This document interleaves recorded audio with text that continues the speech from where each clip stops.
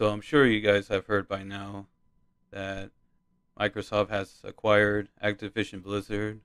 Happened yesterday, or at least, you know, I got the news. I saw the news yesterday.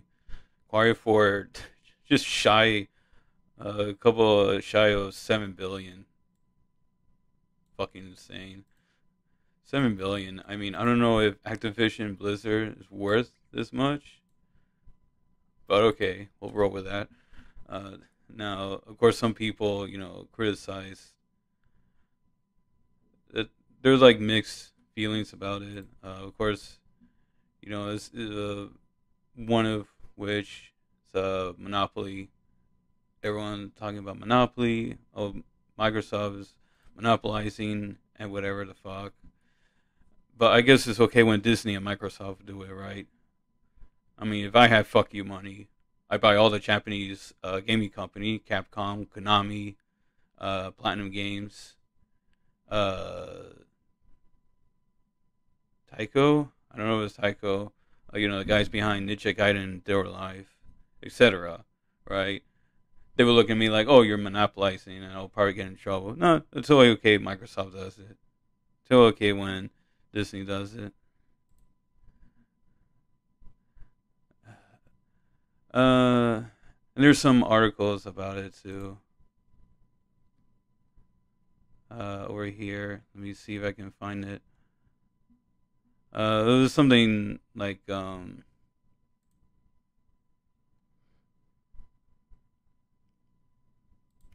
You know, is it is it great for gaming? Basically, you know, it's great for Microsoft buying these companies these studios, but is it great for gaming? Uh, who the hell knows? But yeah, that's that's the that's the latest news. One of the latest news. Microsoft has owned Activision Blizzard. Uh, see what they uh, do with it.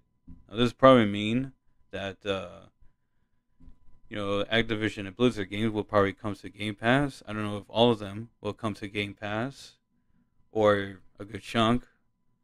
Uh, if Diablo 2 comes to Game Pass, that would be cool. Uh, for those who have not gotten the Diablo 2 Resurrect yet, and if you have Game Pass, it may come uh, to Game Pass. So definitely, definitely do check it out. Diablo 2 is a was a still is, I should say, a great game and the remastered version I think did a a really good job, you know, capturing the classic. Now I'm sure it has nothing to do with the controversy, right, uh, Bobby? Nothing to do with controversy. oh man, so th- this guy has some fucking nerve. Uh, so, uh, I, don't. I, I cannot see any other reason, right? Why this this shit happened? Why Microsoft bought them off?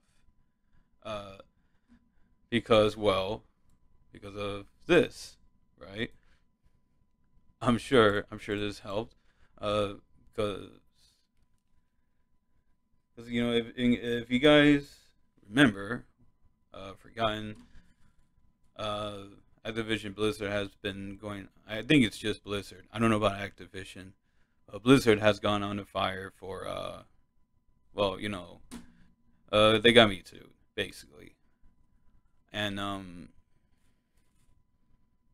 uh, some evidence had come out. I believe I haven't looked into them, uh, but yeah, that that was that was going on, and I think uh, Bobby Kotick was like one of the main suspects. Uh, don't remember. It's been like oh, what was it? A couple months now. I think November. This was happening in or October, but Kotick, Kotick tries tries to uh, make a claim that has nothing to do with controversy. Blames for uh, uh blames you know the the delay of Overwatch two and four uh, uh, you know, for the decline of stock prices. And I'm like, well, why do you think stock prices were declining? Oh, it's because of the controversy, right? Right, Bobby? right, Bob? You fucking idiot. Whatever. So, so last I heard, right, uh, I, I'm hearing two different sides to this. Uh, Kotick, well, Kotick didn't want to. Uh, this has been going on for a while, actually. Microsoft wanted to buy Activision Blizzard, from what I remembered,